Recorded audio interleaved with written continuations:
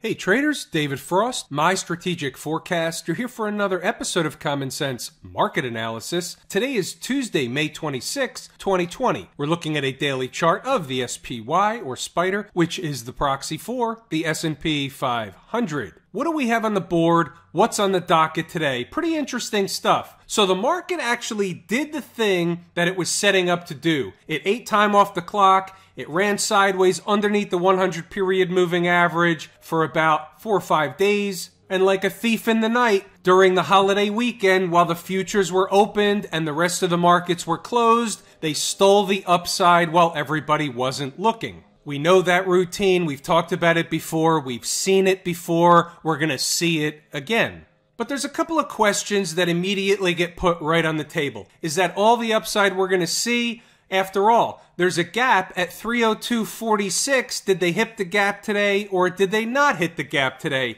The answer is they did not hit the gap. Did they come all the way this way? All the way up to 302 and change to miss the gap. 302.19 was the high today. Did they come all this way to miss it by 27 cents? Most likely not. However, there's stuff on the table. We have stuff to discuss. We're going to discuss a lot more when we break down the charts and look at some of the intraday activity to see what actually happened in the beginning of the day and then at the end of the day. And at the end of the day is where the real important stuff happens because it's not necessarily how they trade them all day, even how they open them, but what's really important is how they close them. What is the closing print of the day? That's what's most important every single day. So there's a little synopsis. Now let's backpedal a little bit and say, hey, What's the main thing or things that jump off the page? What jumps off this chart at me? Well, it's pretty obvious. We talked about it already. It's the gap at 302.46. It's the market above the moving averages, yet closing below the 200 period moving average. That does stand out to me a little bit. I'm not sure it's a huge deal. The other thing that stands out to me is the tail low today, which comes all the way down to right around where this gap is left open from Friday's close. So Friday's close happens to be 295.44. Today's tail low comes in at 295.46. But the question is, was the market really down at 295.46? There's 295.46, which represents today's low. Here's a 15 minute chart, and you'll notice the market was nowhere near that price today. So what is that? What does that represent? Why does that happen? A lot of you will send emails to that effect, and really there is no reason. There's speculation. We can certainly call it shenanigans. It will likely disappear, whether it be tomorrow, whether it be the next day. It all depends on what price does with this market. So it basically comes down within a couple of cents of the gap. So therefore, and this is the same routine, we had one of these last week, I believe, we don't really need the tail. We don't need the low. We know where the gap is. And if price is heading toward that direction, we know under normal garden variety conditions, they're going to get some semblance of support in and around that gap. That's the way markets work. We should expect no different.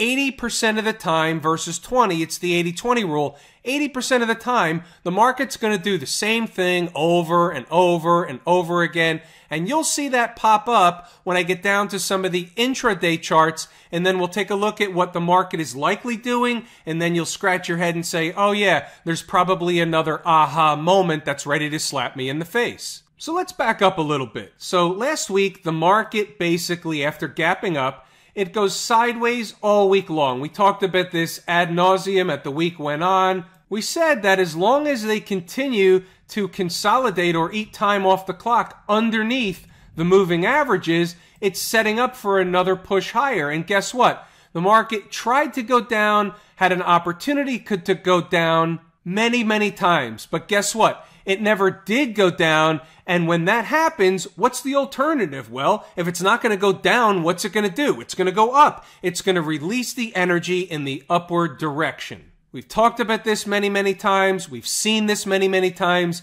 Here it is again. Now let's look at things from a different perspective. Here's an hourly chart. It's the same stuff that we saw on the daily chart. So the market went sideways all week long last week. Gave the appearance of a breakdown a couple of times never happened. So what happens if the market comes back down into this zone, let's just say for argument's sake, common sense would be they're going to fill the gap. Maybe they spike it by a little bit, but for all intents and purposes, for the purpose of this conversation, they're going to fill the gap. What will they be doing from another perspective other than filling the gap? They would be coming back to double check or check in at a former breakout area. The most former, the most recent breakout area. Market went sideways all week, broke up during the holiday in the futures. So this morning, Tuesday morning, the market opens, it breaks to the upside. Now they're coming back, whether they get all the way back to check in at the gap, to check in at the former breakout area, whether they get all the way back down here on Wednesday or Thursday, that remains a mystery. Inside the numbers members will have a beat on that early in the morning, bright and early, in uniform, ready to go. But here, the night before, we're talking about things from a daily chart perspective, an hourly chart perspective, from a conceptual standpoint. We're reading the tape. The tape reading activities are a little bit different intraday than they are after the market closes. Another perspective, remember this chart, the 240 minute chart. We looked at this a couple of times last week. Basically, price was going sideways. That's it. Underneath the 200 period moving average, today they broke up. They went to fill the gap. They missed the gap by a smidgen. That really is courtesy of the Trick Trap Fool and Frustrate crew. We all know about that. Traders who are long the market may be looking for an exit at the gap. They never get there and they end up having to take a different price. Or there are traders waiting for the gap, waiting to short the market at the gap, and guess what? They never get there. So let's just say they pull back for a day, two days, three days, whatever it is. Let's say that happens. Then will they go fill the gap? And the answer is that will likely happen unless. And what's the unless? Let's go back to the daily chart for the unless. And we're going to bring out a number from last week, 291.95. If they begin getting below and closing hourly and then certainly daily below 291.95, then that entire concept of just coming back to check in at the former breakout area, missing the gap by a smidgen, and then going back up to get the gap and likely higher. That whole scenario, that whole storyline would be off the table with a hourly and then daily close below 291.95. What does 291.95 represent? It represents the low from the 19th of May, 291.95. Get below that and you're coming into the 20 period moving average. However, getting below that is not part of the current bull schematic and you're likely on the way to fill this gap down here, which comes in at 286 and change. That's out over the skis, but that's projecting the what ifs because you don't have the benefit of intraday analysis unless you, of course, are an inside the numbers member. What a lead in. Very nice of me to do that for myself. Let's give you a snapshot of what was going on inside the numbers, regardless of what happened in the commentary, regardless of how active or non active, like today, being quiet with the gap higher, the market was. There's still stuff going on. There's still lessons to be learned. And by the way, there were still stocks on the move. So we talk a little bit about the holiday weekend thieves. They're the ones that jam the market up while nobody was looking, having their weekend barbecue. Now we've got something to sink our teeth into, per se. We've got the big fat round number of ES 3000 and SPY 300. They're pretty obvious numbers, and we know they're psychological numbers. The market's going to want to stay above those numbers, which essentially it did all day long until the very end. They gave up the ghost into the close. Instead of an end of the day jam session, they had an end of the day pull the rug out, open the trap door session. And the end of the day jam session was dependent upon the market closing hourly above a certain number.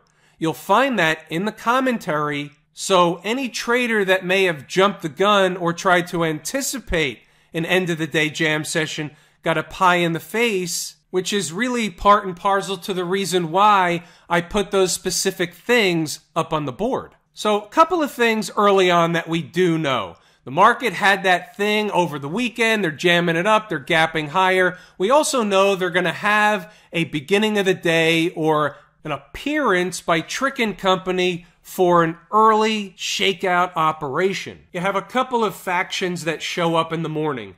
You have the FOMO crew. They want to hop on board. They think they're missing something, so they want to hop on the trade. They're the ones who immediately, most days, get the rug pulled out first. The second ones that get the trapdoor treatment are the ones that try to buy the first pullback. Most days it looks like they're right for a few minutes and then they get a pie in the face. By the time they capitulate out of the short term position, the shakeout operation is generally coming to a close at what a lot of times look like a morning low.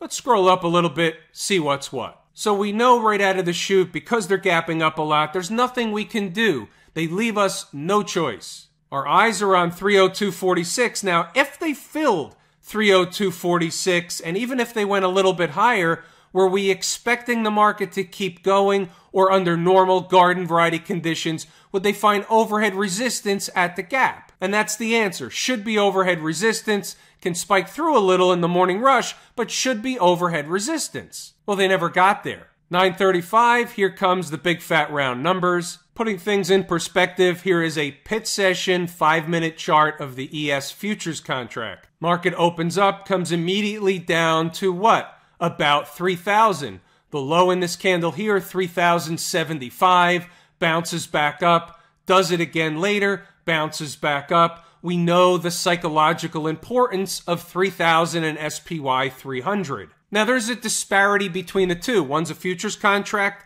and therefore it's going to change each and every day as we get closer to futures expiration. It's not an exact 10 to 1 ratio, meaning, for example, SPY times 10 should equal the S&P 500, but with the futures contract, there's a slight differential. And let me just point out how that works. Here we are within a point to 3000 early in the morning, and then we come through 3000 and make a low of 2996 later. This is about 1150 in the morning, right before lunch. Let's scroll up a little bit first, and then we'll go back to the chart. So what you'll see here is at 9.55, show times for the bull to stay hourly above 29.94. Don't forget, here's the 935 post. You saw that in the 935 post. Now we go over to the SPY chart, and you'll see that second dip right around lunchtime was what? Right at 300. The low in this candle happened to be 299.90 and then the market went back up. You never know which one is going to come into the psychological big fat round number first, which one second, or both essentially at the same time, one spiking through, the other one get there.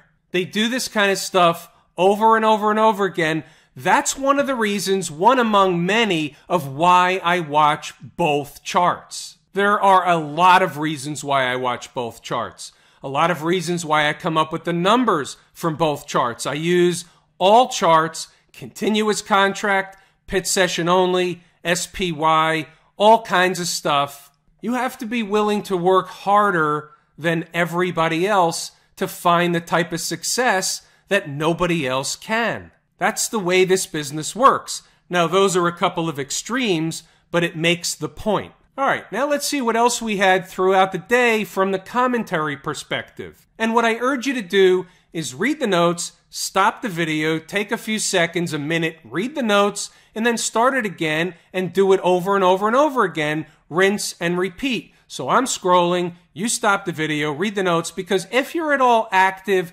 with the market during the day, and today was not a great example because the market didn't go anywhere, it basically went sideways.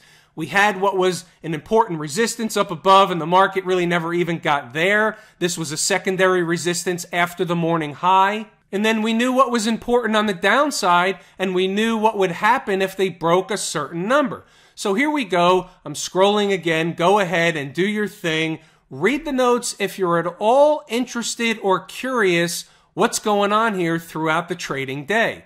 So here we go into the afternoon. And as the day went on, it got quieter and quieter. And then the market moved into the last hour of the day. There's not enough time to do anything. Had they done that type of movement earlier in the day, it may have produced a trade or two. But into the close, very hard. You never know how they're going to whip the market around into the closing bell. Hey, What about stocks on the move? Let's take a look at the two opportunities. That's right. We only had two opportunities on the board. Why is that? One of the main reasons, if not the main reason, is because the market was gapping higher. It's after a three day holiday weekend, so it's like a Monday on steroids. So everything is getting a float kind of into no man's land. So we only had two opportunities that presented themselves from the scanner this morning PLAN and ZM. So let's take a look at those charts. Both hit their entries incidentally. Let's see what we can learn from both of these trades. First, we'll start with plan, Anaplan. This was a pretty significant haircut at the open. The stock closed at 5104 and in the first few minutes of the day, the stock made an attempt but came up short. Had a pretty decent bounce away, which this will keep a lot of traders away from the trade because it's like coming in for a second time. This is definitely the type of bounce away when we reach destination and they go in the other direction. This is the type of rocket ride that we're normally looking for. But look what happened. You never know exactly what's going to happen with these, but the takeaway from this one is look at the importance of the number, notwithstanding the fact that they pulled up short right out of the gate. The low here was 4680. Then they came back for a second attempt what was the low? 46.62. What was the low on the board at about 7:30 in the morning? 46.62. How do you do that? We do it over and over and over again. We don't always hit them to the penny like that, but we do it a lot. Then they made a better or a more adult attempt to get into that area and really test that area. And then you can see they traded away from that area once again. But they did it really three times. First, they come up short, bounce away.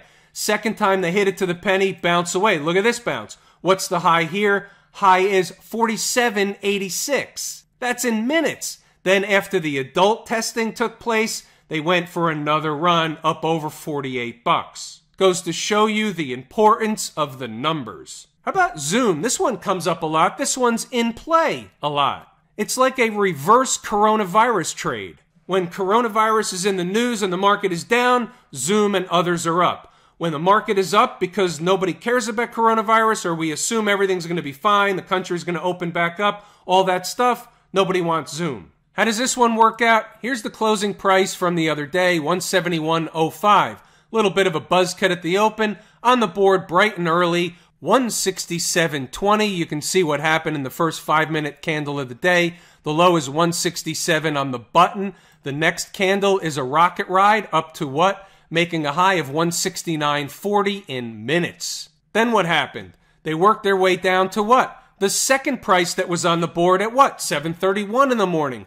164.65. What was the low in this candle? 164.05. What happened? They went right back to the second number. Here's your rocket ride making a high of 167.76.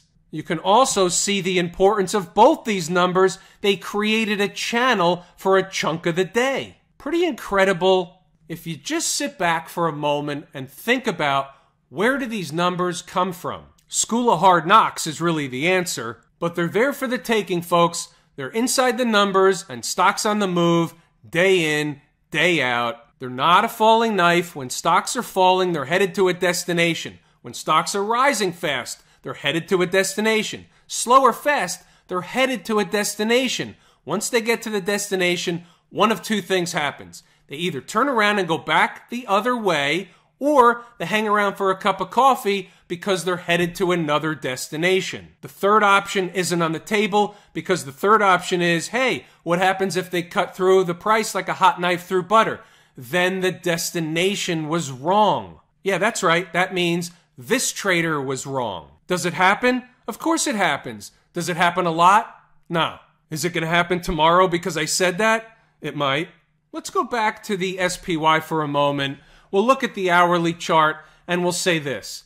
What's the likelihood they're going to fill the gap? It depends on how they open them tomorrow. What happens if they open them below today's close? Then the odds increase they're going to fill the gap. What happens if they open above the high of the last hourly candle. Then the odds decrease significantly that they're going to come fill the gap, and they're right back where they were before the last hourly candle of the day. So that's the best thing I can tell you the night before. We have to see where they're going to open them tomorrow. It's a huge tell. Inside the numbers will have a beat on it, bright and early, in uniform, ready to go.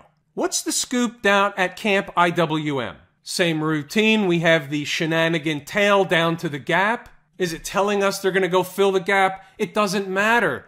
If they're headed towards the gap, that's what they're going to do. Go fill the gap. That would be the duck only until and unless an ugly duck was uncovered telling you something else. You always go with the obvious. You always go with the duck until it turns into something else. That's essentially how to use the 80-20 rule. The majority of the time, the obvious thing happens. We're in one of those scenarios where, again, it's all the same market. They're all going to trade together in the same direction, not necessarily to the same magnitude. But check this out.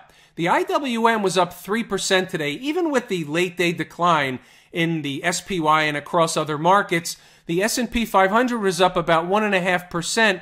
The IWM two times outpaced the SPY on percentage terms. Even with the end of the day sell-off, we have to take note of that. That's important stuff. That's a puzzle piece. That's on the table. Did you have a late day decline in the IWM? Yeah, sure you did. All the markets are basically trading together all the same market. Money flows in, money flows out. Look at this. Let's start with the hourly chart with the folks down at the transportation department. Does this look the same as the other two? Does it look the same as the IWM, which incidentally is my favorite market leading indicator? What are the transports? My second favorite market leading indicator, but a number one, a numero uno, canary in the coal mine. Does this hourly chart look the same? No, it doesn't. Look at this for a moment. It was up 5% today. Are you crazy? What's it going to do? All of a sudden collapse tomorrow and come all the way back down to fill the gap? Probably not. This is headed somewhere. Was today it? It's unlikely. Where's it headed? Likely the 100 period moving average, but likely a little more. We'll call it 9200 for argument's sake. We may have already even talked about that number. I really don't remember. But if we did, we likely did last week. What about the Qs? What about the folks out in Silicon Valley? How about that reversal? Is this in and of itself grounds to shit your pants? Obviously, the pants scenario comes in if you're long the market. If you're short the market, you want the demand for depends to go up. Well, let's take a look at this from an obvious perspective. What did the Qs do today? They went up to run a test of a breakdown candle high. What am I talking about? The high from the 21st of February happens to be 234.01. The high today wasn't 234.01, but it was close. The high today was 233.57, so they were in the neighborhood, in the vicinity of the breakdown candle high. Is that it? Is that all they're going to do? Are they going to leave the gap right above that unattended to? Maybe for a day, maybe two, but they'll likely fill the gap unless they collapse. However, what did we talk about last week? Maybe over the weekend video. The Qs are a little bit extended from what? Home base. What's home base? The 20 period moving average. They're way above all the moving averages. Is there anything really negative on this daily chart? No, it's in an uptrend, so they might have a down day or two or three, but being above all these moving averages, there's nothing wrong with the Qs. So guess what? So some money rotated out of the tech space today, but there's technically nothing wrong with this chart. There's two sides to the coin. You have to look at both. Be the umpire. How about the XLF? Remember, without the financials, it's unlikely the market's going to get very far in either direction. What did the financials do last week? They ate time off the clock right above the 20 period moving average. We talked about it, and here is the result 5.5% move higher. That's likely, since it's not at the high or a high on the chart, it's likely not an exhaustion move, but look at this volume. Over 100 million shares just today in the XLF. Last time you had 100 million shares, what happened? Let's go back and get a point of reference. Here was a top. Okay, fair enough. Here was a bottom. So you have both. So what does that tell us? Nothing. It could be either or. What do we do when that scenario takes place? We don't know. It could be either or. We go to another chart. What's the weekly chart telling us? Totally different picture. The weekly chart is in a downtrend, a very strong downtrend. Now, the market may want to reach, before this is all said and done, near or at its 20 period moving average. That will be a moving target as it's sloping down and it will creep down each and every week. What's the formula and how do you do that? That's really everything that the Lazy E-mini Trader course is built around. How'd you like how I slipped that one in the side door?